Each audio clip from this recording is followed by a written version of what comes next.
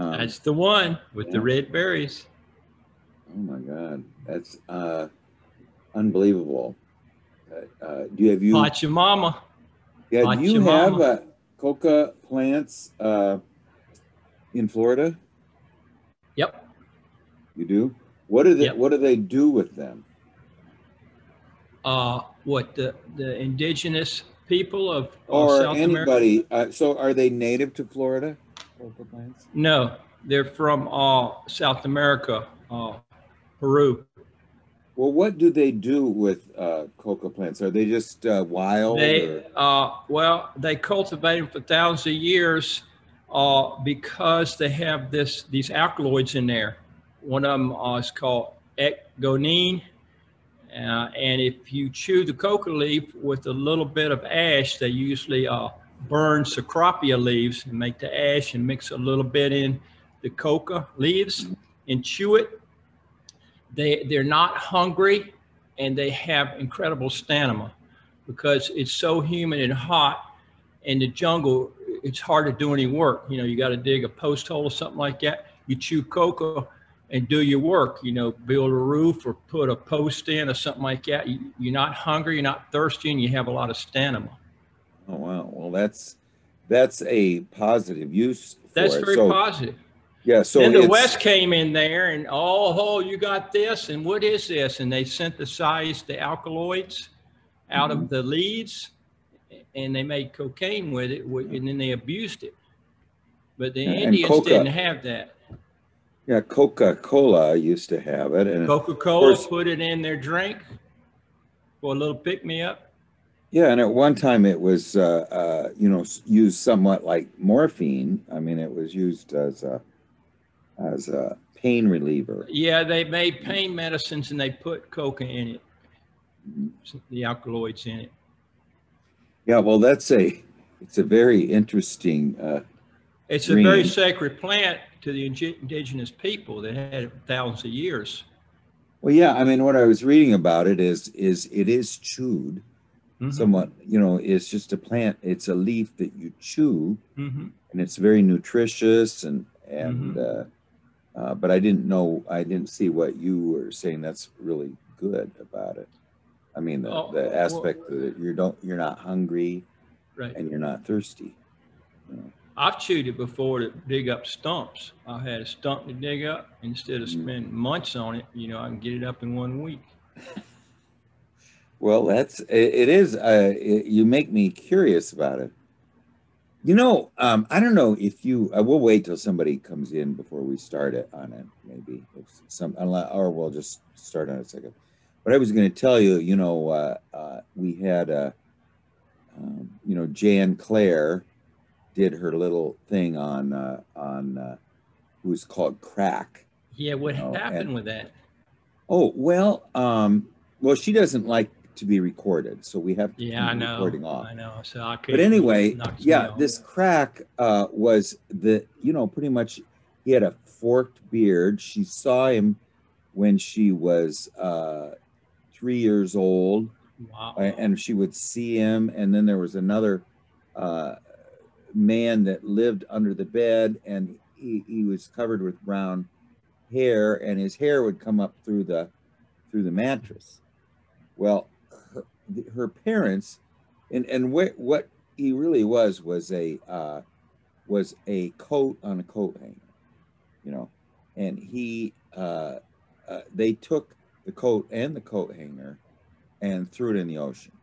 Okay, so she didn't see him again for four years, but then he comes back Wow. you know and uh so what what we were doing we were you know just discussing who the devil is you know what is the devil you know and uh, uh i th- this is going to lead to a dream i just had but anyway the uh, devil oh, gary's here good because I this this is a pretty interesting little uh anecdote here. Hey, Gary. How's it going, Gary? Good. Yeah. Well, I'm gonna. Uh, we're gonna start on a Roy dream. here. It was a tulpa, a tulpa. What's that? What, what Jan had is, Oh, a, yes. is a tulpa, imaginary friend, a tulpa. That's the Yeah. name Yeah. they call them. T U L P A. a Well, see, because You know, stayed with her. Yeah, I had one, and and he lived in the electric socket, you know, and I would go over there and talk with him, you know. But uh, I just want to tell you this quick story, then we'll uh, look at Roy's dream. But anyway, you know, we started talking about Gary, you know, who the devil was, you know, uh, in in Faust, um, Mephistopheles, who is the black dog, takes Faust back to ancient Greece to retrieve Helen of Troy. You know, so they have to go back in time. But Mephistopheles felt very uncomfortable there because there was no such thing as evil. Mm. Okay. In Greece, there wasn't. And you know what the underground deities would be seen on Mount Olympus. They were called the Kabiri, you know, and they're actually the Telesphorus, you know. I heard somebody something interesting about the Telesphorus too is the um this one guy says that today all of us, every one of us is orphans, are orphans, and that we all live in a, the whole world is an orphanage. And uh, that this sense of abandonment is in all of us. You know, there, there is this sense of abandonment. And I, you know, I was thinking of Camus says, you know, abandonment is the foretaste of death, you know.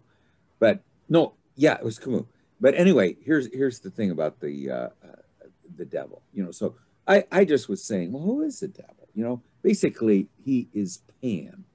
You know, he's this um, he is is this uh, figure who is is the son of the great mother. He's half goat and half human, and somehow uh, the most spiritual religion of the Levant.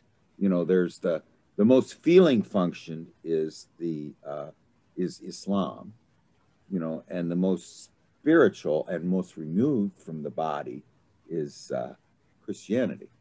And you know, they took the figure of Pan and uh, uh, thought, ooh, wait, thought he was uh, um, he represented the aspect of the uh, of the devil or the uh, that aspect that Christianity wanted to separate itself from from the body from the the feminine from the mother.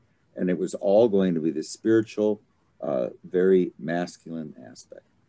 And uh, hi hi Tim. We're just talking about the devil a little bit because I had a little dream about him.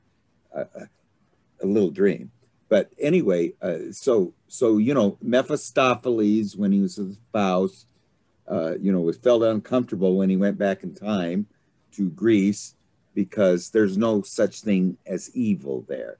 You know, evil only came about in when there was this very spiritual religion, and what evil really was initially was the feminine and the mother, and the being connected with the body. And you know, Saint Paul kept talking about how we need our body is this cancer that we need to you know evolve out of. Well and, and then that lasted until about a thousand ad then it became um, this uh, uh, factor of uh, ego consciousness of that ego is the god you know and no longer is there uh, so this is the horizontal age of pisces. Well anyway you know I'd been told by the uh, anima, and by the way, hi Charles. I was told by the anima that if you don't work on your dreams, then I'm not going to even talk to you anymore. You know, and so you know, I start out and and I get this dream, and it's really dumb. You know, I I'm in a, a car with the shadow, and I sneeze. Okay, and uh, uh, turkey goes everywhere, everywhere. And I can't, I'm trying to clean it up. I feel really bad because it's not my car. And I keep, you know, trying to clean up, but there's no way I can't clean it up. So I'm wondering, how do I amplify this dream? You know, it's just, you know, I don't get it, you know. And so first I thought, well, uh, you know, I, I started thinking about the respiratory system, you know, and that something that came out of me uh, from the spirit is uh, annoys the shadow. And, you know, that's the way I was going. But then I, I threw an I Ching on it, you know, and it, it basically said that these, it, and actually what it was is, I get this one all the time. It's the three receptive lines, which mean earth, you know, all open, broken uh, lines. And then the second one was also earth. So it's earth over earth, you know.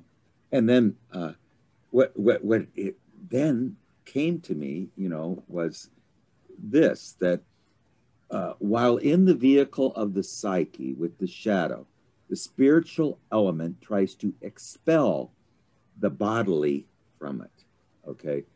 You know, the respiratory air is trying to expel the bodily element from its, you know, really great concept concepts. The ego uh, sees that um, it just makes a mess that cannot be cleaned up.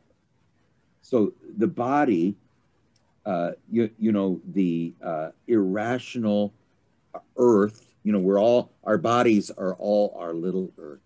You know, every one of us have an earth and it's, it is the body.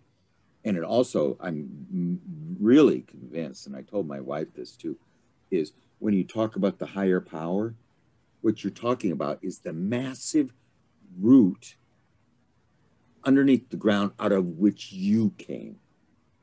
So my root is not the same as your root. So what the higher power is this is the our law. My law is not your law. But my root gives me my law. Okay, so that my and you know, I'm a thinking function person in addition to being intuitive, think that I can expel the body by sneezing, but it just makes a big mess. The body is the primary thing. So, uh, what I thought of too then was this was what Christianity tried to do. You know, they tried to sneeze the body out of themselves with spirit, you know, uh, with, with spirit, but they just make a big mess, you know. anyway, that's maybe you're little... talking turkey, man. You talk turkey, Craig. You I, I dream. Turkey. Yeah, I dream about meat all the time. You are talking turkey. You're talking. You know, you're spewing substantial stuff out here. Yeah. You, you spew sp- sp- substantial stuff. It's called talking turkey. Man, Craig's yeah. going to talk turkey. We're going to tune in, man, because he's going to be talking turkey. You know, that's what you want to hear. Yeah. Well, well, that is one of my. I I think the way to uh, you, you know, and I've started doing this, and I think I, I got this really from Gary, is um, that before I do anything in active imagination, I always, um, and by the way, after I did this stream, you know, which I thought was a horrible, uh, most ordinary blah dream, but after I got done with it, I, I did my active imagination. All kinds of, of things were showing up. You know, I mean, in other words, what before was just black. You know, if I see just blackness, I pray. You know, but but today I I just saw all kinds of stuff. You know, hey, Shu, so, huh? go ahead, Tim. Yeah. Finish your sentence. You said before you do an act of imagination, you what? Um, uh, I do. Uh, I'm supposed to work an hour on dreams. You know, and if I don't, the anima told me, I'm not wasting my time on you, you, you know, and, uh, and, and it was, and, and I never did get the meaning of that dream until I threw an I Ching on it. And what I got was earth over earth. And I get that one a lot of times. And it had like two changing lines. And it said that two dragons are fighting, uh, but it's an equal match and neither one would win and there's black and yellow blood on the ground you know but but what it also uh, uh, said to me, I mean, I can't remember what it said, but it actually told me what the dream was. But anyway, it reminded me of the devil conversation, you know, that Christianity tried to expel the body from it, just like I try to do it, you know, and, and I don't do it on purpose. I just do it unconsciously because I value conceptual things and spirit more i mean whether i whether i admit it or not i do i probably value the abstract more than the immanent you know? And I would say the whole of Western culture denies the body. And we've been on this, we've been on this kick ever since uh, linear perspective was introduced to the West in 1425, That's which is Young- the, you know, the idea of linear perspective. What it does is it produces the screen and it puts the viewer on one side of the screen and the world on the other side of the screen. And ever since then, ever since 1425, we've been removing ourselves farther and farther and farther from our body. And now we're just on these devices all the time. And you don't need a body anymore. No, and, and I think this is coming up in all of our dreams. I don't mean to say this, but but uh, Charles, you know, and I don't know uh, now. Roy, we're going to do a Roy dream here, uh, real quick. Uh, but um, I don't know about Roy. I can't tell you the Roy story because it's it's very, um, uh, you know, there's something about Roy's dreams that is so deep i can't uh you know really i i i think it is so deep that i can't really get it hi shu And charles how are you doing? Uh, hi, I'm good. okay great. I was just telling a little anecdote about uh the uh, the dream i uh, had which sort of reminded me of we were just talking about what the devil was and you know i did uh color you, you know I, I just feel if i don't do this i'm going to get in big trouble. You know here was my little dream about the uh, anima who dies and the only one who can save her is not the regular doctors but the uh, but the uh, doctors who dress like with animal costumes you know. But anyway um i think every, did we finish every up everybody's dream and we can start on roy's? I i don't remember. I'm kind of and now shu or charles if or tim if you have a dream uh get ready and uh, uh i i'm how about you gary are you dreaming at all Nothing I'm remembering. Yeah, well, you, you know, one thing I do is I I uh, try not to eat ca- drink caffeine after like uh, noon, and uh, and then I take uh, melatonin and uh, uh, and B six at night. But you know, also try to if I read a fairy tale, it works very well. But anyway, why don't we do Roy's dream real quick? Uh, and and I don't know, uh, you know, just the quality of Roy's dreams are very mysterious. I mean, they just have a a, a- mystery about them that I I can't really completely fathom, you know. But uh, anyway, uh, Roy, do you want to read your dream? Okay, yeah, I just want to make uh, one more remark, and of course, it relates to my dream. Uh, you know, this uh, Dionysian Christian thing, uh, it was sort of precursor to the 17th century and Newton and Descartes. And uh, the numbers, Jung says that numbers are archetypal, but really numbers are archetypal of order. And the uh, scientific age is obsessed with order. And anything subjective or messy, it throws out. And so we've lived for centuries now with this ordering uh, paradigm just infiltrating everything. And, and, and uh, I guess everything messy and subjective is just sunk into the unconscious. And, you know, I, I feel like that's where we're at. And, uh, this train doesn't have a fire in it anymore, but it has such incredible inertia you just have to get the hell out of the way. But but eventually things are going to change because of all this buildup in the unconscious. Well, it, you know, we are at a significant turning point, as Emma Jung was saying. And the other thing is, I, I did I say Jung called us all decapitated heads? Oh yeah. Yeah. Oh yeah. And and and you know, just uh, you, you know, Von Franz said one time, "Oh, great, Dawn's here." Yeah, I mean, uh, Von Franz said one time uh, that, "Hey, Dawn, how's it going?" Uh, Von Franz said that you know, Jung said, "In chaos, there's a secret order." She said, "I can give you any random uh, set of dots on a page." just like the stars that we see the constellations on. And she says, You will find order there. You will see patterns. And she says they can be completely random. But you know, we there we find structure or order somehow, you know, even in these random uh, things. And and this is what uh, Marion Woodman says, and then we'll go into Roy's dream. She says, that that dreams take the events of the uh, the everyday, bring them in a narrative, and they let the eternal shine through them. You know, they bring them in and then present them in a way that the eternal shines through them. You know, and this is what you only this, nothing else, unites body and spirit, or body and meaning or nature and meaning.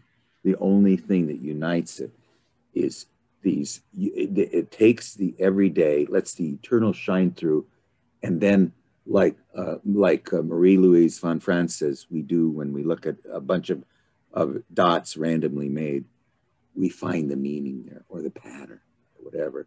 I mean, for instance, I just want to mention I said last time that if if we told if we had 20 people in a in a uh, circle and each one recited Tim's dream, Tim's dreams in the order that we've we've heard them, there's a it, they're all one piece. You know, they really are, and it's uh, really thrilling. I think it's great to see you, Dawn, and um, you know, Dawn. I when I was talking about anima streams, I wish I had some of yours that I could have um, read during our uh, little discussion on the anima. And anyway, uh, Shu, um, Shu, Charles, or Tim, or Dawn, if you have a dream, uh, go ahead. I'm going to put this one in the. Uh, we're going to do this one by Roy real quick, and we'll. It, you know, we got about uh, let's see, about an hour and fifteen minutes left, and we'll we'll try to split it up evenly, and then if we don't, um, uh, Charles, did you have a dream? Oh, okay. Well, that's fine, Dawn. But if you do have a dream, I would, I, you know, Dawn's had a dream where a voice said, I'm not sending you any more anima streams. And yet every one of her dreams up until now has been an animus dream. So that's an interesting thing to say. Her, Dawn, your your dreams tend to make these pronouncements. You know, I don't sure how um, how valid that one is. I think it's it's sort of a message rather than to the ego that it needs to pay attention or it's going to lose uh, its connection with soul or something like that. Well, Roy, did you want to? Uh, Sure. yeah. Okay, Charles. Well, you can. Uh, let's do Roy's dream, and then Charles says he has a dream, and then Tim, if you do have one, or Shu, uh, if Shu, do you have a dream? I don't, don't have a dream. No, I'm just listening in today. Okay, perfect. Okay, well, not perfect, but okay. Well, uh, whatever. I meant whatever. Well, we'll we'll cope with whatever we got. Okay. Um, anyway, so Charles and Tim, if you can get one ready. Roy, uh, would you uh, read your dream? Hey, Roger. Okay, I had this uh, last Saturday. I was at the Fruit and Spice Park. I was by a shade house. Nearby was a neglected plant fallen over in some trees. It was a coca plant, but it was not a bush, but a tree. I decided to prop it up so, so it could be back in the sunlight. I put a rope around the trunk, which I could use to hoist it up. I needed something to tie the rope to. My mom's old Cadillac was nearby, which was rusting and not fixable. I ho- hoisted the tree up and anchored it to the car. It swung it up over the shade house. I thought, oh, wow, now Louise, the director, will see it. She will have to approve this or it won't work. Okay, well, let's let's go at it and uh, see what we can make of it. It's like like the dream I had about the sneezing. At first, I thought this is just a dumb dream, but it turned out to be very I, I, don't know if you if you do this, Craig, or not, but sometimes I'm not even going to write a dream down sometime, and I'll tell my wife, and and she'll, oh yeah, that's this is what this is, and I said, my God, you know, I don't know how she does it, but you know how somebody else can really give you some good ideas on your dream, especially your wife, and you just think, oh, this is nothing. Well, I'm not going to say that anymore. I'm gonna I'm gonna I really feel that I have to do every dream and you know take it seriously, see where the eternal is shining through. But anyway, uh, so now we're at the fruit and spice park. So this is the place where you are. Are you currently working there, or No, I'm a just- volunteer. I volunteer volunteer. once a week. Yeah. and and the fruit and spice park is a uh, a place where very rare um, Mhm. plants are um, you know tended and it right. also has uh, some uh, places for people to um, to eat or something or like Uh, no, if the fruit's on the ground, you can eat it. You're not supposed to pick stuff off the trees. okay if it's fallen fruit Yeah. but anyway it's a, it's just a, a place um, and there's a lot of these in Florida because we went to another one in Florida where they, Fairchild's the most famous one here that we have. Yeah, they they um, get they they collect very rare species of plants and uh, so it is a place of the diversity of the rooted world Mhm. and you know it and like uh, the shoe-billed stork it's it are plants of of of that are very um you know something that is very uh, uh special or almost uh has a, a shamanic master plant quality to it you know i, I wanted to show you real quick this uh, little picture uh, i had uh, taken this morning. Uh, let me see if I can put this. thing here. Uh, this. Uh, And Roy, what is a shade house? Yeah, there you go. Well, uh, that's down here in Florida. You you get so much sun that you get a screen and you put it over uh, uh, area so you, your young plants will be in the shade house so, that, so they don't get the intensity of that sun. They have different fabric, you know, uh, Oh, you know, yeah. 30% shade, 40% shade, whatever you want. Oh, I see. Okay. So the shade house, if you you know you see this is just the moth. It's about five inches That's beautiful. wingspan, and it was on our garage floor this morning. You know, Wow. just like wow, it's just unbelievable. But anyway, the the shade house, yeah. Uh, let's let's go over that. The shade house is is it something to to for plants that need shade? Yeah, we have a we have a nursery and we we have a hot house and a shade house for where we're growing plants. They're young, they're not ready to harden out the environment yet with the rain and the full sun. So yeah, it means now is the is the coca plant in a shade house? Well, we don't have a coca plant because technically they're illegal in the United States. Mhm. But in the dream, there's a coca plant. I mean, yeah, it well, in, that they can't arrest you for dreaming of a coca. plant. no? But it's in the sh- it's in the shade house. Though. No, it's out along a, a wooded area that's bordering the shade Oh, you house. by It's- the shade it's- house. and it's not a bush it's actually a tree and it's fallen it's fallen over so that Mhm. that it it can't get to the sun you know it's just not going to do well down there on the forest floor shaded out And and we were talking about the coca plant uh, before uh, Roy and I were, and it, for the indigenous peoples, it was not um, uh, this cocaine aspect. No. Really, it was more if you chew the leaves, you're never hungry, you can work all day, and you're never thirsty. And Roy actually would uh, chew it uh, for that reason too. I mean, he could bring bring a stump up, you know.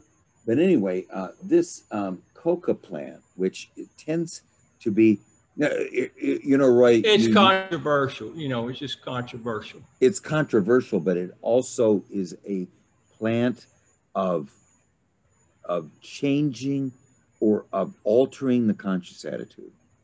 It's like Dionysus. Yes, Yeah. it is a very It's going to be marginalized so Dionysian- fast you won't believe it. You know, Yeah, we I can't mean, have there's this an- thing exist in our community. yeah, and this is what um, you know the uh, Jivaro Indians do, and the peyote plant people do. Same thing. Yeah, they they do it to have a transformation of the conscious attitude. In other words, to get a revelation. Now, uh, you you know, uh, I was just thinking too. Uh, I heard it. Somebody had a dream about a transformer. You have dreams about transformers, and they said, "Well, that of course that means it's a it's a, it's a device of transformation." You know. But anyway, you uh, I just thought about Roy when I heard that. But the um, the so this is a plant of uh, of um, it- one that connects uh, the the t- conscious attitude uh, in in time and space with the eternal realms, you know, uh, or at least opens it up, you know. Uh, you know, I mean, I don't know if you read some of the uh, visions of people who are on LSD, uh, and uh, I mean, it's God is there. I mean, really, if, if they do it correctly, uh, there's visions of the divine world. Really is, you know. And Jung Jung said when he read one of them that he would he would hesitate to go to the place where um, colors come from, you know. But this this is um, the uh, a plant that connects our time and space um, mentality with uh, the divine invisible world. It's one that's sort of the middle uh, link. So to some extent, it's the anima. Well, it's Pachamama. It's one. Yeah. It's the Pachamama plant in in Peru, and Pachamama's uh, their word for Mother Earth. Yes, it is the it it, it, you, you know there's an absence sometimes of the anima in Charles' dreams, and in uh, until lately, and uh, Roy, a lot of times there, there a lot of your dreams are very elemental, but I think this link to to the our time and space world and uh, and the self is um, the bridge is the coca plant. It's the anima. Okay, so or it is this elemental anima, and now we see that it was um, not a bush but a tree, and it's been neglected, and it's fallen over. This is this is we all have these dreams. I mean, you know, uh, the emaciated dog comes up from the basement. We haven't seen, it, you know, it went missing 20 years ago, and we open up the basement. There it is. Just hasn't eaten for 20 years. So uh, there's an aspect that ego is neglecting this um, plant-like anima. But my dream ego is not neglecting it. No, the dream ego is not neglecting, but they are saying that the the ego outside. See, you do this a lot, Roy. In the dream, you are the one who solves the puzzle. But uh, it, it you the the dream is saying there is the puzzle is is out in your life right now, and here's uh, the dream ego seems to have this heroic quality and it is propping up the uh, this bridge, uh, it, neglected bridge within ourselves. You know, now you can. Uh, it may maybe something else uh, will uh, be another interpretation, but anyway, uh, the dream ego is trying to get this bridge to be more effective and actually uh, do what needs to be done with it, and um, so uh, we're we're hoisting it up with your mother's old Cadillac. Okay. So There's old, old rusted tractors near the, in the shade house. I mean, there's a couple of rusted old tractors, but not in my dream. It's my mom's old Cadillac. yeah, so the great mother, or you know this this mu- this this sort of eternal mother figure, is is uh, is going to help us uh, uh, have a better have a proper relationship with the feminine uh, through through her help, her you know pulling help, her ability to uh, help uh, her. She is able to help right the anima so that we have a better relationship with it, or her vehicle, and um, so she we we are um, it's nearby, which was rusting and not fixable. You hoisted the tree up and anchored it to the car. It swung up over the shade house. Now, can you can you illustrate that a little better? Well, when, when uh, you're propping a tree up, one side's weak. That's the side it's fell down on, right? So when you prop it up, you pull it up against the strong side. It's, the roots are still in good. And then, and then you got uh, opposing forces. Of course, then you have to tie it off. You know, you, you got to have an opposing for, force on each side so that it'll stand upright. We we use a little wind well, after this deal with the with the You probably duration. some trees up, right? Well, just a, an inch a day, and Okay. we, we and and then then we see if there's any give in it, and we inch it up a little bit more. You know, every day trying to write some of these big bigger. Right. You know, but anyway, um, that is that what you're doing, or you're not actually pulling it with Cadillac? No, uh, the Cadillac doesn't run. It's not Yeah. fixable. And uh, it was just happened to be in the exact right place where I right. needed to tie the rope off to keep the tension between the tree and, and where the roots are in the ground. And- So so the, the balanced. yes the the the gravitas or the weight of the mother realm is the anchor with which we're going to pull It's an this, anchor. this bridge um, to uh, to conscious attitude and the self we're going to uh, get the proper proper relationship in the dream by using the mother as the anchor you know uh, uh, the feminine so it's it's sort of the the great mother and the transformational anima uh, and um, but we swing it up over the shade house but now we think that the- another feminine figure is going to not approve uh, of this or it won't Mhm. work An authority figure. yeah. Okay. Well, that's a start on it. Um, we'll see how far we get tonight on it. What do you think, Gary? Yeah, so Roy, what was your relationship with your mother? I mean, was it was it good or I mean, how how was that? Uh, well, uh, I my my uh, I'm way back where where was where were all like trophy wives and debutantes, and so uh, my my mom had to support my father.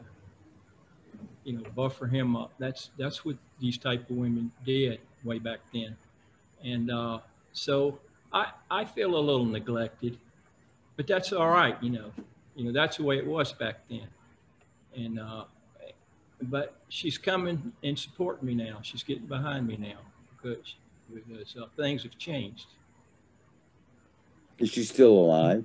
No she she Oh. died uh in 2017 she was about 96 no she was 99 99 And any any special feelings about the coca plant? oh yeah. That that's pachamama. It's nothing more sacred than that. You know it's pachamama. And it also represents a symbolic of controversy. And i'm always in the middle of controversy my whole life. I mean i breathe controversy Yeah. Well, yeah, okay. So I don't know. You know, I, I think Craig is, you know, that's pretty much it because it's pulling, you know, it's pulling this this sacred thing up out of the, you know, out of the shadow. It's on the forest floor. you know, into consciousness, and yet even even if its foundation isn't perfect, you know, it needs something to anchor itself to. So even though what it's anchoring it to is not fixable, it's sufficient. But then, you know, the sort of the strange thing is it's like it's up, but the manner in which it's up may not be totally acceptable because you wonder, you know, what Louise, the director, you know, how will she feel about it? You know, and, and how is Louise to work with? Well, uh, it's interesting. Here's some synchronicity. Uh, about a week before this dream, I'm over there volunteering, and somebody brings out a plant, and they say this is Banisteriopsis subscopi. I said, "Whoa, you know, that's an ayahuasca plant." I don't know who put it in there, and uh, we were we were trimming it up, repotting stuff, and we were talking about it, and uh, and and Louise says, "Is that legal? We can't have that. It's, it's illegal." And I said, "No, it's not illegal. You can have these in the United States." She said, "No problem. You know, so so it's fine." And then after I had the dream, they have a, a farmer's market at the park on Saturday. Uh, the day uh, after the dream that I had early Saturday morning, I go over there and pay ten dollars. I go to this thing, and uh, there was an ethnobotanical guy there. He was a millennial. Him and his wife. His name was John. Her name was Georgia, and he was a he was into ethno uh, botanicals. He had ayahuasca plants there, and a lot of other really interesting plants. I never seen an ethnobotanical guy at the farmers market before. I've been here ten years, so that was weird. Wow, that is kind of a synchronicity. So, you know, so the director see, will see it, and and so, you know, the the hoisting up is in, in the manner in which it's done. You know, you're still trying to figure out if this is going to work long term. Mm-hmm. Is what that sounds like. Yeah, I, mm-hmm. that's I really don't have much. That's it. Well, it, yeah, just to sum up what he, some good things Gary said is, is uh, um, that it, let, us just say this happened in the outer world. In in the outer world, we found a way to uh, to to write the the uh, the the um, aspect that connects ego consciousness with the divine world using um, the maternal as the anchor and and bringing up this uh, feminine plant which right now is not operative because it's neglected and fallen over. So the the dream ego is is showing what if this happened really in the outer world that we were able to do this in reality? I mean that's uh, I, I think that was really uh, that's what I was gathering from what Gary was saying. What What do you think, Tim? Well, Roy, I'm thinking about the difference between the what the young plants need, which is this filtered sunlight, and and what the coca plant needs, which is direct direct sunlight. And so, by by putting the coca plant up, it's providing more shade for the shade house, right? Mm-hmm. So I'm thinking about the young plants as being the um, some kind of fresh ideas or uh, uh, something bubbling up from the earth that that needs to be protected from the from consciousness, and by by exposing this, uh, the Pachamama, uh, it helps that situation somehow. Yeah, they, they need nurturing. The Pachamama can surround them and nurture them. You know, yeah. Them. They're fragile, growing things. Yeah, so somehow those two are connected. Mm-hmm. Yeah, the ethnobotanists come. I mean, they they basically aren't they people who try to uh, to uh, I mean I'm just thinking that they try to uh, restore uh, the original uh, uh, condition that the plant was in or what what well, is ethno botanicals they they travel the world uh, going to these uh, indigenous cultures seeing uh, what plants they use for medicinal purposes and things in their culture that's really what ethnobotanical is. Okay.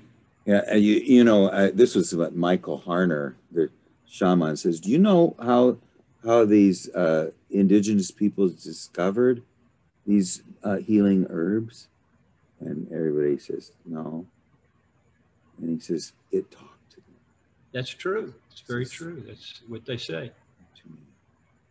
Sometimes they'll go, like the shaman will go uh, isolate with one plant a couple weeks, he won't eat anything. He'll just drink water and maybe nibble on the plant and, and just sort of be with the plant for a week or so. And, and you know, Michael Harner had a course uh, on talking to uh, trees and to uh, flowers and to plants. And, you know, I mean, basically, he's doing an act of imagination with him. But, you know, my wife was talking about uh, plants that heal that are in the shape of the organ that you want to heal. And I, I asked her, uh, well, what about uh, mandrake? And she says, what's mandrake? You know, and I just uh, pulled up a picture of a mandrake. Let me see if I can show it to you.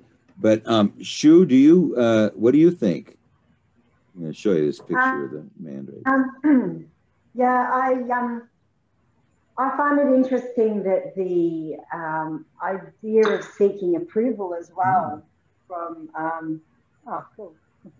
Mandrake. Yeah, well, I'm just showing you the mandrake root. Yeah, but go ahead. Seeking the sense of approval. I'm sorry to interrupt you. Yeah, that seeking the sense of approval for that plant. And it seems to me that um, there is some kind of fear or something maybe to do with the anima or like some something that you're trying to work with and trying to restore and trying to redesign or tend to except there's a fear there or you know you need to be um, handheld a little bit around the whole thing. There's a nervousness around it.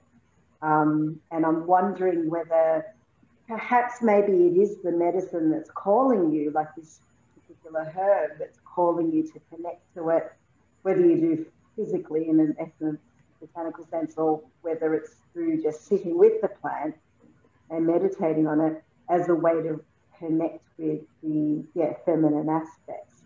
Um, it really reminds me of one of the first dreams I heard from you, Roy, about the the building. You know, um, you were building a house, or you know, your house had fallen down or something like that, you know, with the pine trees. Um, and I remember saying the same thing at the time that, there was some kind of structural reconfiguration going on. Um, that seemed like more of an animus thing, you know, like being the structure of a building, whereas this is the anima where it's the structure of the tree that's now being rebuilt and reconfigured in some way.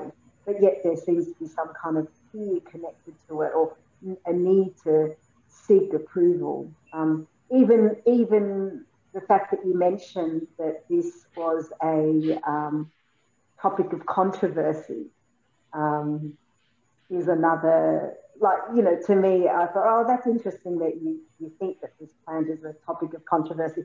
You know I, I know that there's lots of cacao ceremonies that happen um, and um, it can happen um, legally in that sense as well. Um, but yeah, they're just some of my thoughts around this thing. Yeah, well, well let me just mention, uh, let's hear what Ray has to say, but that's a wonderful analogy. In what was happening in the pine forest, unbeknownst to Roy, there was a house being built for him.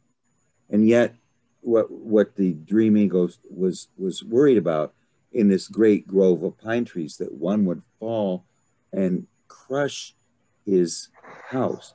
So now, in this case, Um, the uh, dream ego is building the house by bringing the coca tree up. And this authority figure, uh, who is uh, Louise, and a tree is feminine, a big tree is feminine. There's an aspect of that she is could be one of these trees that fall and crushes this um, aspect of that we are forming. It, what is the meaning of the house in the forest being built for us? And what is the meaning of having a proper relationship with this sacred plant? And and I had one question too, Roy. And what is the relationship of this sacred plant that's being righted with the shoe-billed stork? I mean, they are both these characters of uh, uh, godlike characters. But in this case, we are um, we are restoring the proper relationship in uh, our our uh, in our soul lives of anima and ego and the self. And we are you we are doing it through our efforts. Um, we are um, uh, uh, doing we this is what we're doing in our with our dream work. Through our efforts in in uh, working with with the unconscious we are writing uh, getting a, a, better relationship with this um, transformational tree. The one that is the bridge to uh, the eternal world. You know, Roy, do you have any thoughts about that or not right now? Oh yeah, I'm I, I'm trying to build a foundation so I don't get smashed by authority figures in, in, in the materialistic world. And and you know stuff that's that's dominating everything and and and these things are are very fragile and and who's going to bring them forth who are the ones that are going to support these things and, and bring them back into the world. That's, that's not an easy job, you know, and, and I'm one of them.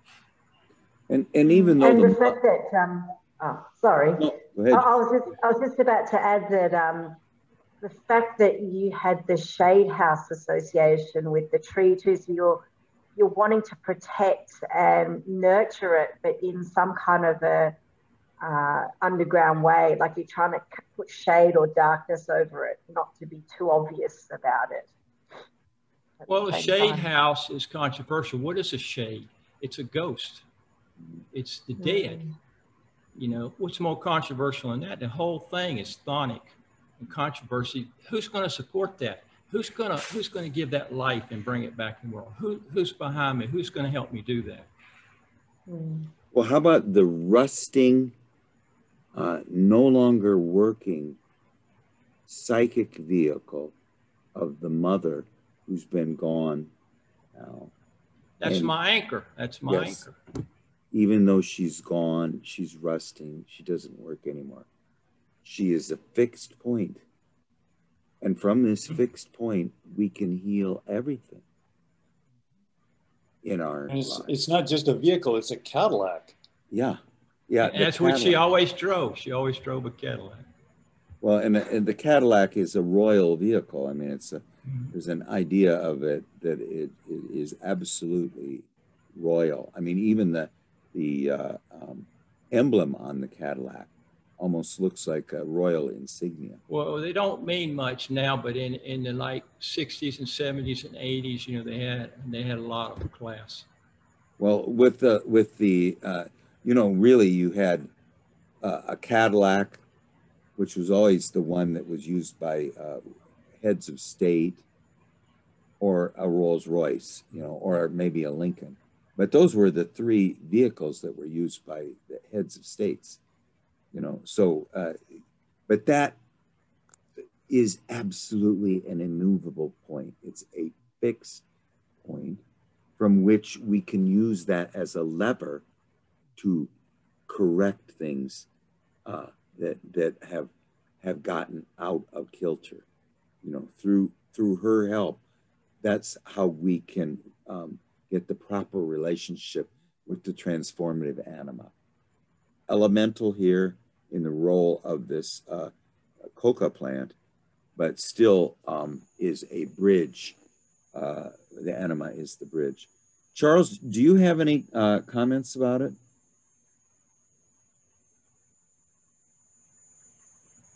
And by the way, how are you doing?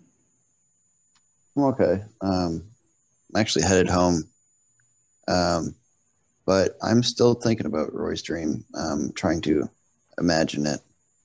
Um, but yeah, it definitely seems like a um, something's being repaired and brought up into consciousness, and uh, you know, an area where new things are blooming.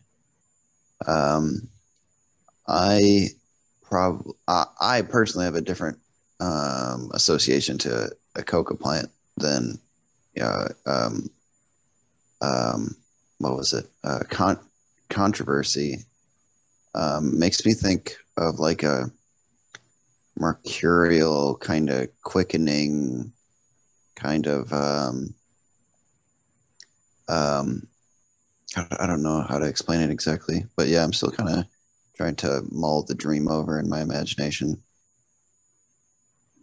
Do you see the the, the mystery that's coming up? it's a very it's a dream full of mystery. You know, I mean, we we're coming the, the here. Let's let's try to identify the aspects that are, and then uh, we we we will think about it and see if we have anything more to say about Wednesday. But let's kind of sum it up so we can start on uh, Tim and and get and Charles' dream. And and like I say, Shu and Dawn, I would just absolutely just be delighted if you can bring a dream maybe uh, uh, uh soon because uh, I really uh, both of you guys have fabulous dreams. And you know, I was also thinking, Shu, about the um, about the restorative farmers Oh, yes. Yes. I mean, the restorative farmers and what um, Roy is doing too, you know, mm. and what they were trying to do was to, we misinterpreted it, but what they were trying to do was to awaken the mm. dead instinct in us, you know, that instinct in us that it was was like Roy's um, neglected um, plant that has fallen over. So there's the, there is a relationship there between putting the deer on the the engine and and uh, applying uh, some kind of like almost a uh, what fib- defibrillator to it. Yeah, yeah, yeah. Uh, and Roy uh, trying to write the plant. But let's just go over it real quick and see if anybody's got any. See, now we're first at this place of of magical plants, okay? And we're by a shade house. So so we're out, uh, we're in feminine light, basically, indirect light. You know, there's a light that is is if we're standing in the sun, we're in the masculine light. But when we're standing in the indirect light, uh, we are in in that that uh, feminine realm where things are uh, you, you know a little darker, a little more obscure, and a little more irrational, not so clear, you know, just darker. And it's the shade house. So that also says to me it is a is a house of the lunar light. You know, it's a house of the lunar light. And then um, there is a neglected, fallen plant. And the dream ego knows that it must um, uh, uh, must come to the aid of this, which is our inner feminine, our soul, and the and the uh, dream ego knows it must come to aid of its own soul, and it, it, what it's going to do is, with the help of this fixed point of the maternal, it is going to uh, restore proper relation, relationship with the soul, and then uh, and and she and the mother's vehicle is this kind of a royal vehicle. So she, she's like the queen goddess there's an aspect that she must be a goddess, you know, because of the royal aspect. And um, then, uh, so we are starting to try to get the proper relationship. We're worried about what the authority figures are going to do. I mean, there's a, there's this just like in the dream about the tree possibly falling and, and destroying the, the new house. There's an aspect of there is a danger here. Now, this this authority figure or these large trees are might be able to um, to uh, uh, cut short the um, activity of restoring the soul to its proper place. You know, uh, does Roy or does anybody else have any more comments? We'll think about this one too, and and try to uh, see what we think on Wednesday. See if anything else comes up. Roy, do you have any closing thoughts on it? No, I think I understand this one. Yeah, okay. A- anybody else uh, have any closing thoughts? Okay. Well, uh, why don't we uh, try to split the rest of the time up between uh, Tim and Charles? Uh, who, who wants to go first? Charles, you go ahead. Yeah, okay. All right, so we got about 36 minutes. Let's try to spend 18 minutes on uh, this one. And if we don't get through, we'll um, we'll finish it up on Wednesday. But go ahead, Charles. Okay, one second. Um, trying to find this particular dream. Um, I could almost tell it to you from memory if I can't find it. Um, oh, crap. Hold on one second. Sorry, I thought I knew where No, it was. take your time. Take your time. Um.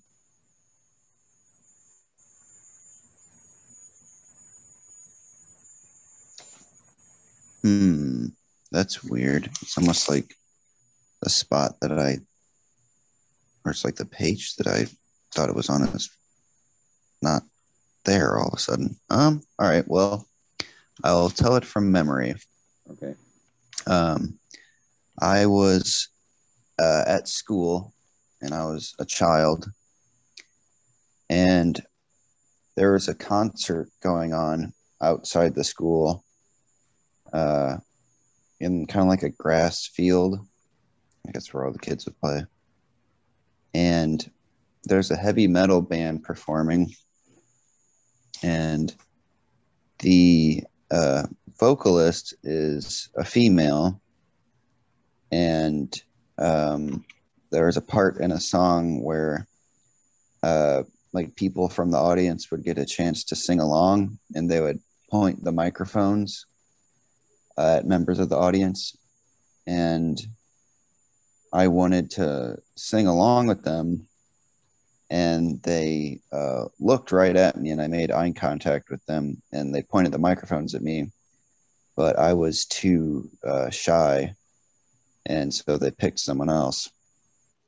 And then the next thing I know, I try to move forward, and I tumble over a kind of like wooden railing that just appeared right in front of me.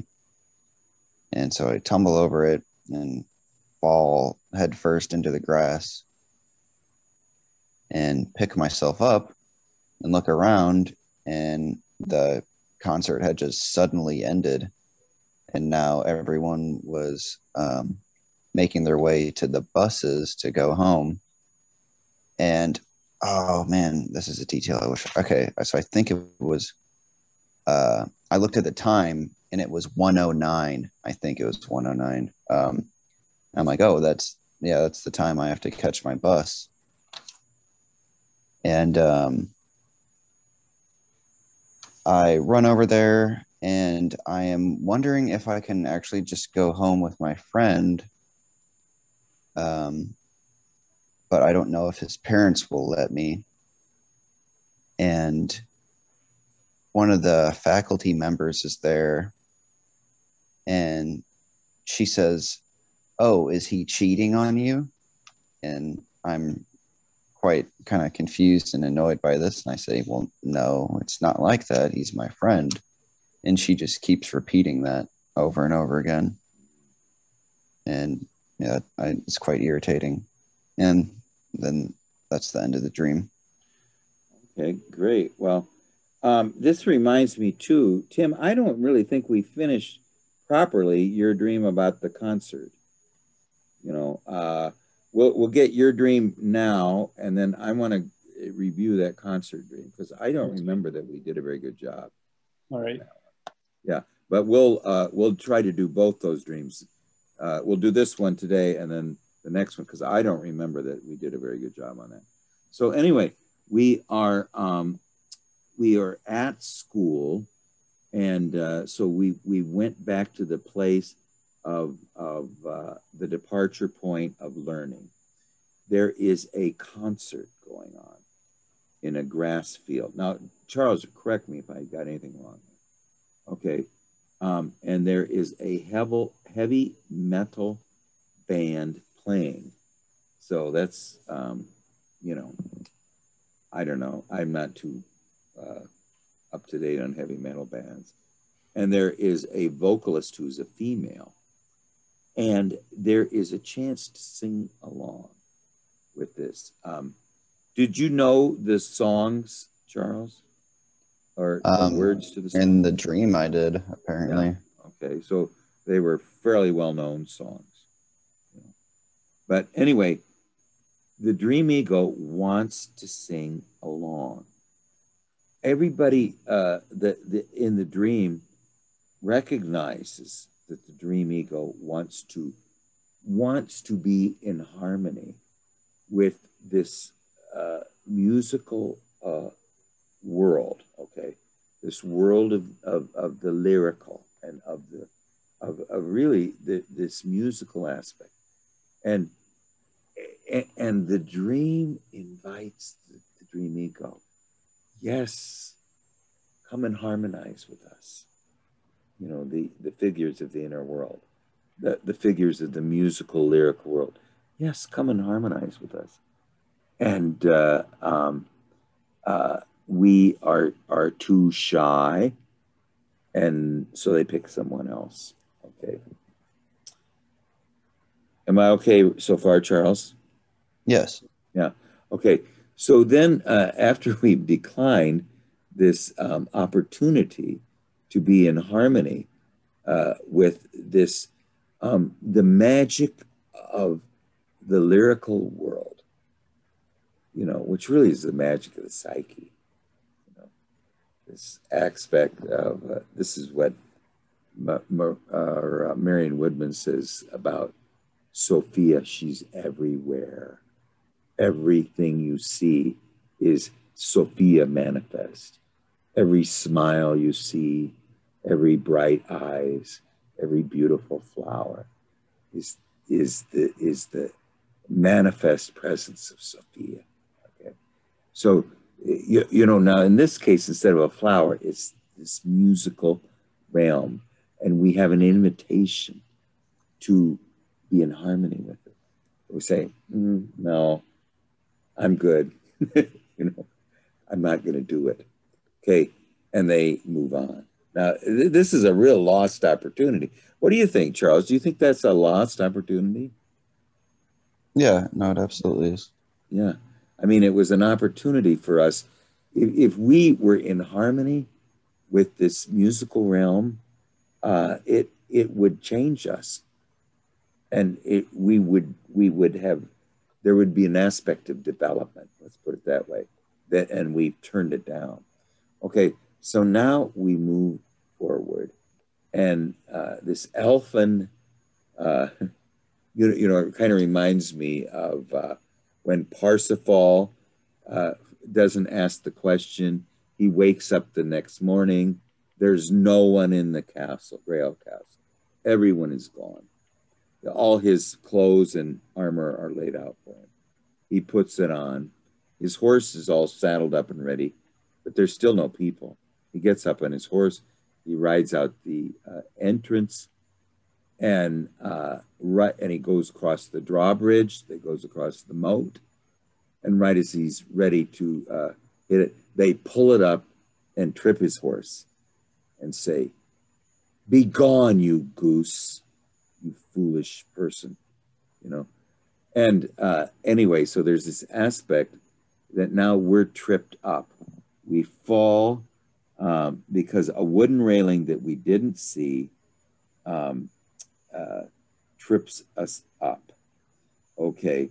And uh, so it's just an aspect of that. Uh, uh, we tripped ourselves up, you know.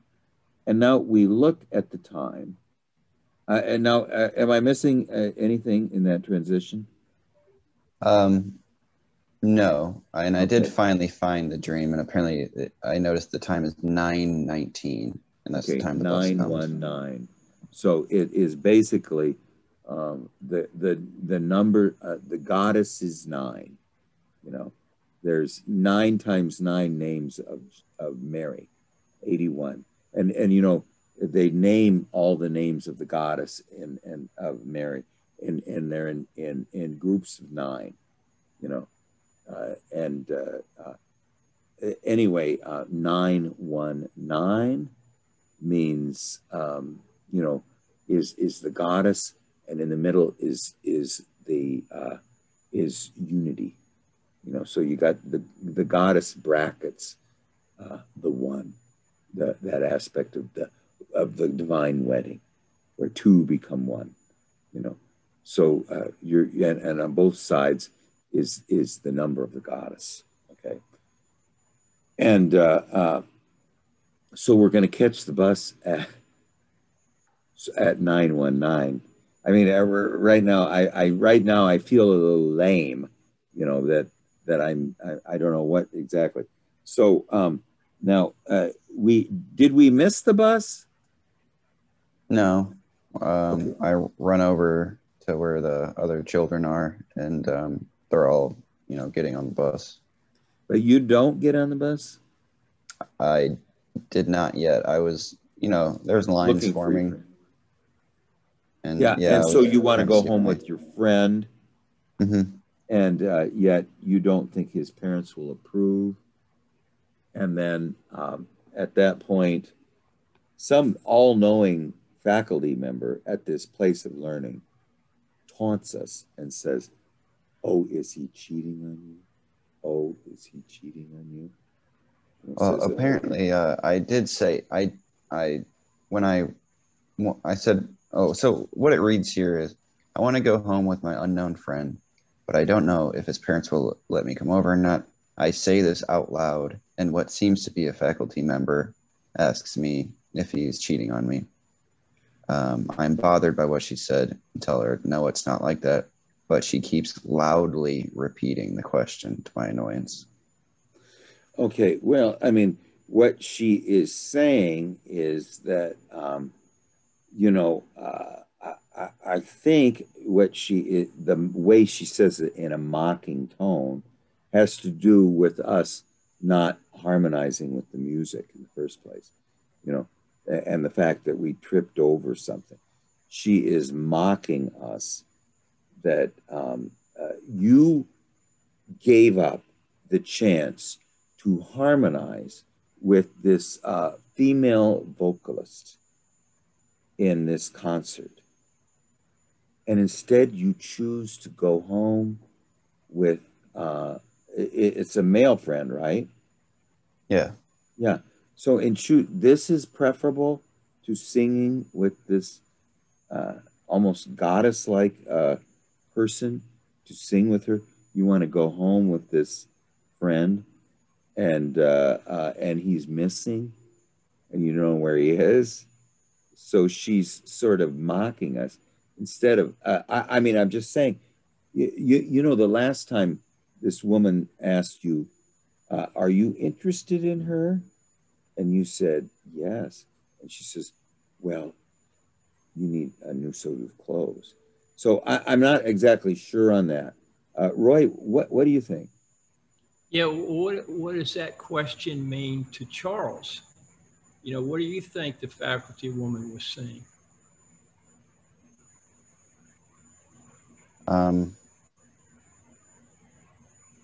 is he really your friend? Um, I don't know. I can't let other things come to me right now. But Is- um, She implying that you're She's that you might doubting be that gay. she's Um, doubting your that he's really a friend. You know, she's uh, denying your feelings towards your friend, like you think he's a friend, but she's doubting he's not. He's not really a friend. Something like that. Um, it's no, it's definitely not just that. I think Craig's getting onto something. It's implying that you're It- gay, that you or something, are, or the but not. the or the not being the- able to sing. Now you done switched from not being able to sing to gay. I mean, which one are you talking about? It's two things, Craig. Well, I'm I'm just thinking that because we didn't sing with the anima, she and instead went home with this male friend, and we can't find him. That there's an aspect that, um, and and it is a, a feminine figure. Uh, I, I'm not uh, insisting on this, but I'm just get trying to guess uh, the question, the meaning of the question. Oh, is she he cheating on you? if he's cheating on you, that means that you and him have some type of uh, amorous relationship, and and he's meanwhile having an amorous relationship with someone else secretly. Uh, yet I think that she's saying this in somewhat of a jest or in a mocking tone because we miss the opportunity to unite with the uh, this this singing anima. Uh, Roy, go ahead. I, I didn't mean to I- interrupt you. Is just- that correct, Charles? Did- Did Craig sum it up? Um, yeah, sorry, I'm just kind of in uh, an epiphanal state. Um, and I almost don't want to really go into it right now. Um, but yeah, Let me jump in Um, here a minute. I'm thinking about the the the friend as sort of a a mirror image of you. And what I hear the the authority figure saying is is your devotion going to be with the feminine or the masculine? Um, there's some kind of uh, intimacy that I think is is is expected with the feminine, whether that's whether that's out in the outer world or whether that's the anima. And it seems like the authority figure is saying, "Okay, where's where's your uh, where's your energy going to go?" yeah. What do you Yeah, mean about your epiphanal state? Right now, or Yeah, yeah, right now. Um, yeah, it's uh, it's a it's a puer thing. Um, it's sort of uh, um, I it kind of clicked, um, like how, you know, in the Von Franz book, um, something I, I don't know, um, dealing with uh, homosexuality in the shadow. Um, and I can't even really exactly formulate it right now, but it's basically like can't connect to the anima because um, of uh, the like libido regression towards the mother, and it can cause um, uh, like it can cause homosexuality and i forget exactly how that ties into the shadow yeah, she said there, there's some aspect of that it can it can, can because we don't want to leave. But Tim, could you repeat your question again? Because I don't know Well, if he I'm, answered I'm it. trying to think of this in different ways, but uh, it seems really ripe for a, an active imagination about these characters. Like, what would it be like to have a conversation with the with the friend. What if uh, if it was him pointing the mic at you and saying, "Okay, now's your now's your chance to participate," instead of the woman on stage? What would that yeah. feel? And do you think you would be too shy to do that? Yeah, no, I mean, you're 100% on the money. Um, if it was all an all male cast, then I would have sang along. Uh, it wouldn't have been a problem. But um, I can't. Um, um, I can't. I can't speak because I can't produce. Um, I can't create the sound. Um, but yeah, I don't know. It's it, yeah, like I said, it's quite epiphanal, but it's it's you know um, private information at the moment. Yeah. Well, we'll yeah. um, go ahead. Well, uh, yeah. Uh, uh, th- this is a very important moment here. You might, if sometime when you when you're a child and you're back at your school, you're you're visiting something in the past, your vulnerabilities open. Maybe at some time uh, something happened when you, when you were trying to relate to the female and you were mocked. I mean, this might have happened sometime back and it traumatized you. And you can't get too close to it because, of course, it's very disturbing. You know, there's no nothing more painful, least for me, to be mocked by.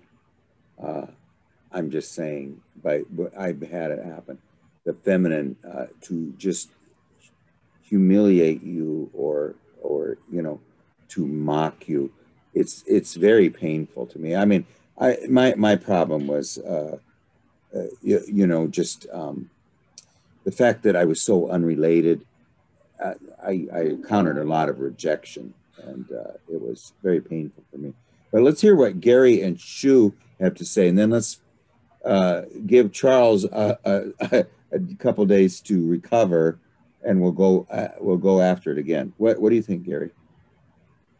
Well, so you know he has this opportunity. It doesn't work. He falls over this small barrier on the ground.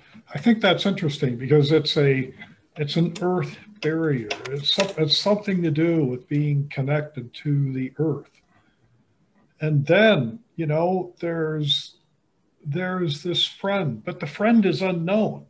He's unknown because, you know, maybe it feels like a friend, but he doesn't really know what to expect. And he doesn't know what the family of the friend, you know, how, what the acceptance will be. And yet, what's, you know, what I find interesting about this is that the friend shows up right after the failure to, you know, kind of to, you know, express and connect with the, uh, you know, with the lyrical.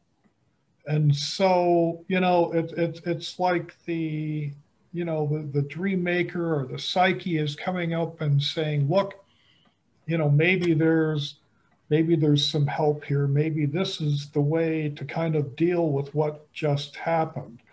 And yet then we have the shadow that says, well, wait, you don't know this friend. Can you trust it? You know, you know, is the friend is the friend going to cheat on you? Is the are you do you think the friend's going to help you? And then the friend doesn't. So I, I guess I'm reading it a little bit different. And and the fact that we're going to go home with the friend and we're worried about the parents um, thinking that this is an improper relationship. Do you, do you think there's an aspect of that, Charles, or not? Um, I don't know. That particular detail did not occur to me. Um, that, that, why would the parents object? Mm,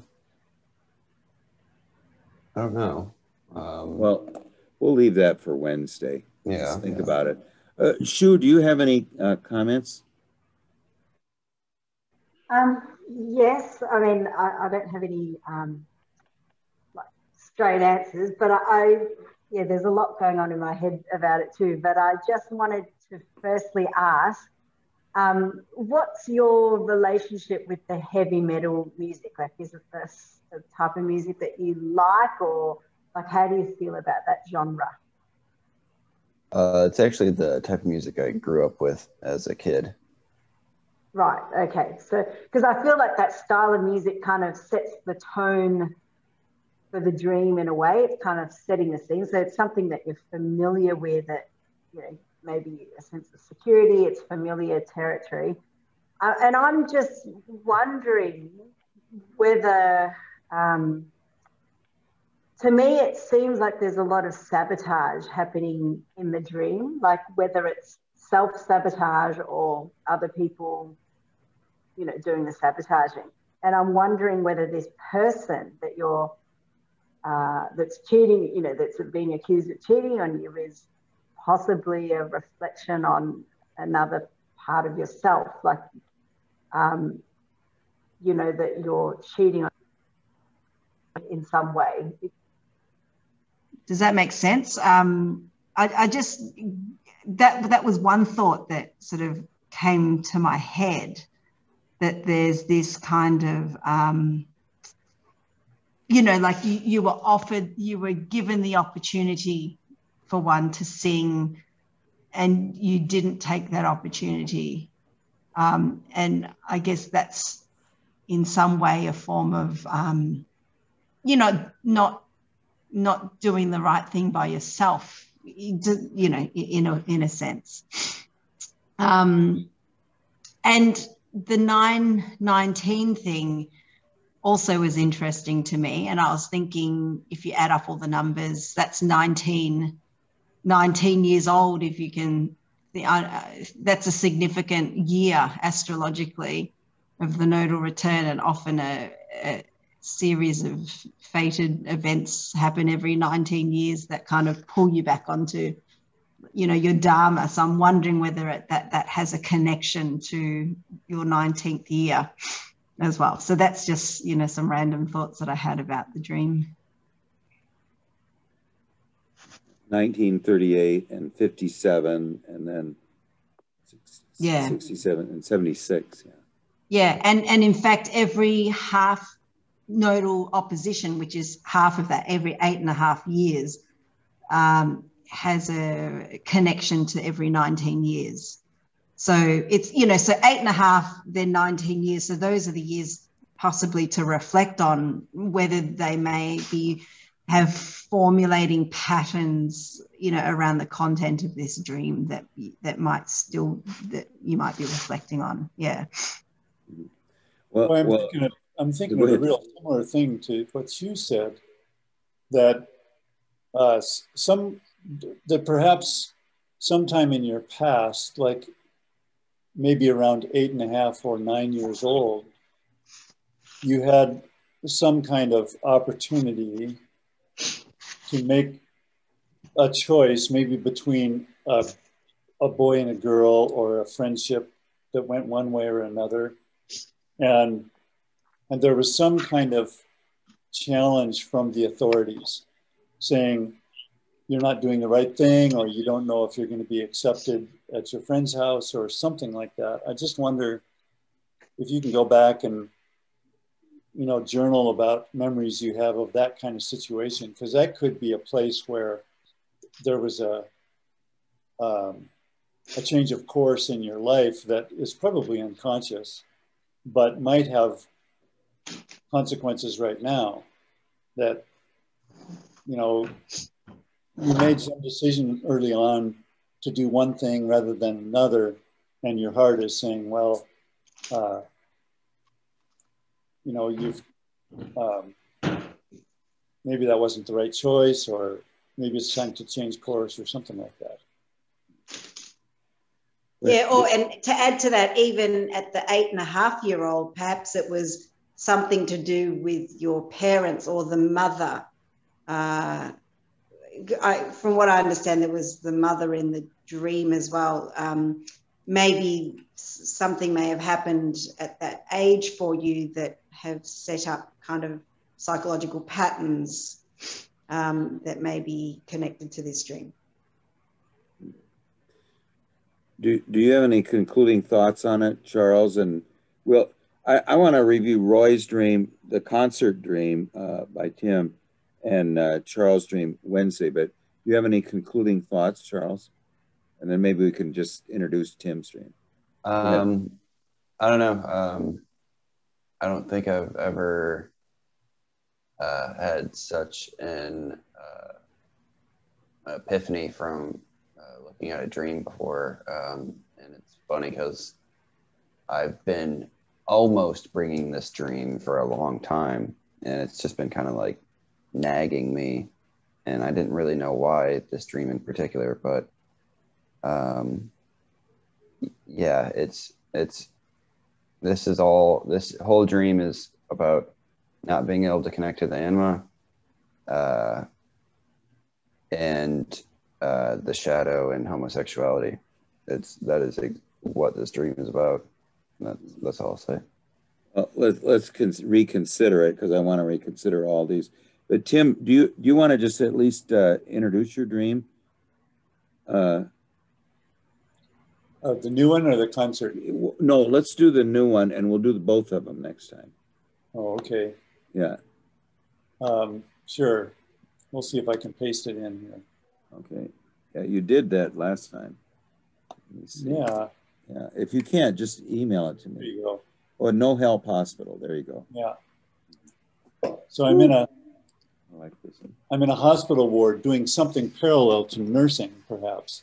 But I notice that the patients are being neglected. So I begin to go to other departments trying to find help and back to the patients to monitor what's going on. So at one point, I'm talking to a patient who's actually a healthcare worker, and I ask her if it would be helpful to take her temperature, and she says yes. I go to the nurses station, but nobody is available. So I go to another department, and there I ask for help, and someone says, do you mean out of nine people, there's no one to help? Talking about the first nurses station. And my reply is, nine people, I didn't see but two or three. So I go back to look again and maybe raise a fuss. Okay, let, let, us go I'll go over real quick and then we'll see what if we got a few comments. So you're in a hospital doing, we're, we're doing something parallel to nursing but you notice the, uh, that there's patients being neglected. So you're in a hospital where um, healing is not occurring. So there, there, there's people there that need healing and they're being neglected. So we begin to go to other departments to find help uh, uh, uh, and, and back to the patients to monitor what's going on. So why are we in a hospital where um, the the ones who need who are wounded, who have a a uh, healing issue. Uh, this is a profound dream. It really is a profound dream. Uh, that that no one is being helped here. I mean, it's just absolutely uh, almost has a divine aspect to it. And and at one point we go talking to a patient who's actually a healthcare worker. We ask her if it would be helpful to get her temperature? Yeah. Yeah. Okay. And she says, yes. You're talking to a patient who's actually a healthcare worker. So she's a patient. I go to the nurse's station, but nobody is available. This is Kafka. This is like tri- the trial or uh, or the castle. I go to the nurse's stations, but nobody's available, so I go to another department. And there I ask for help, and someone says, Do you mean out of nine people? Okay, there, that number is coming up again. It's a, it's the feminine number of the goddess. Do you mean in the realm of the goddess, there's no one to help? You look up the number nine and just see how it's related to the goddess. And my reply is nine people? I don't see uh, but two or three. Okay, so we're, you know, you know, this this not only is there's no help there, but but the uh, the now also we got nine muses, you know, and nine names for the goddess, and uh, I don't see the ego, ego is is not able to see all this the nine muses or the nine nurses or the nine goddesses, nine names of the goddess. So we go back to uh, to look again and maybe raise a fuss. Now this this is a dream where ego is uh, has great frustration. Um, it's beautiful. What do you think, Roy? Is this literal or a dream? Did you go to the hospital? It sounds like you went to the hospital. No, it's a dream. yeah. Uh, I've been I've been in a hospital like that. Uh, yeah. I, you know, it's like real life. You know, I, I I don't know. It just sounds more like life than a dream.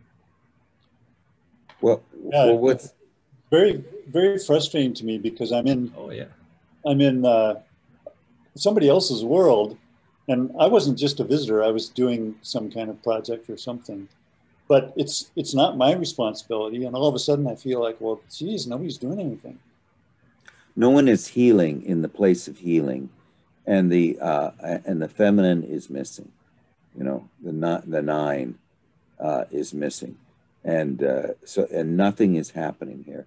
So the the healing that needs to take place in us is not going on and the idea is there's no one here to heal now, you typically that means the ego can't help you now. You need some kind of animal helpers or something. What do you think, Gary? Well, you know, this kind of reminds me like when you're, you know, you're doing like some sort of spiritual exercise and you're trying to feel it inside. And, but, you know, for whatever reason, you, you fail to make that connection. And so then you're just kind of like, you know, you're just wandering and you feel lost. And that's that's how it, it feels to me.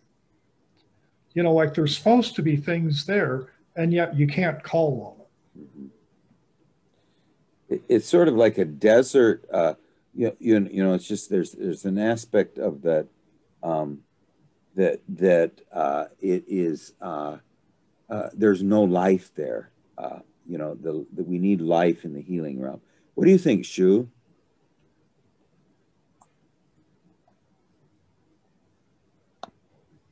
Are you there, Shu? Sorry, yes. um, yeah, not too sure about this one, but um, possibly interesting that, um, yeah, they said about the nine nurses here and you could only see two or three. So it's something about um, maybe not being able to see something or, um, yeah, something along those lines. Um, but yeah, I don't have too much more to add on this one. Well, yeah, we'll, and, we'll, maybe seeing the fairness or the, the righteousness of the whole issue. You know, you're seeing this is not right, you know, and you're calling it out in a way and you have don't know what to do about it or you know you know there's something's up that something's wrong um, something's not right it's an incredibly important dream i think uh, Tim, and I, I want to. I'm anxious to go, and I think we can link it in with the concert dream. Uh, Charles, you, you have the last word, and I just want to say, Dawn and Shu, please, if next time you're here, see, see if you can come up with a dream, because I would. I, I, just think we need you, you your dreams. Uh, go ahead, Charles. Do you have any final comments? Um, I just think it's really interesting that one of the patients is a medical worker because to me that means that like uh, well, it's an image of a healer that needs healing. So another that's, that's another uh, aspect of this hospital. You know, it, it does sort of remind me of this husband's insane asylum. I don't know. You know, there's this, this aspect that it's uh, it, it is missing the the vibrancy of the feminine. It's just all cavernous hallways of, of ego or something. Uh, anyone else got any final comments? And then we'll come back to both of these dreams and the concert dream on Wednesday. And uh, of course, hopefully, uh, somebody brings some other dreams. Anybody? You got anything? Okay, well, Tim, this is a beautiful, beautiful dream. So we'll, and Charles, your dream, uh, hopefully you've recovered from your epiphany by next Wednesday. So anyway, well, thank you, Shu and Dawn. It's all, I love, love it when you can drop by. And Yeah. uh, yes, and we'll, uh, we'll, Thank you. well, next time, anytime you guys can come is, is wonderful. So, so thank you, everybody, and we'll see you next time. All right, thanks. righty, bye-bye. Guys. See ya. Yeah. See you later.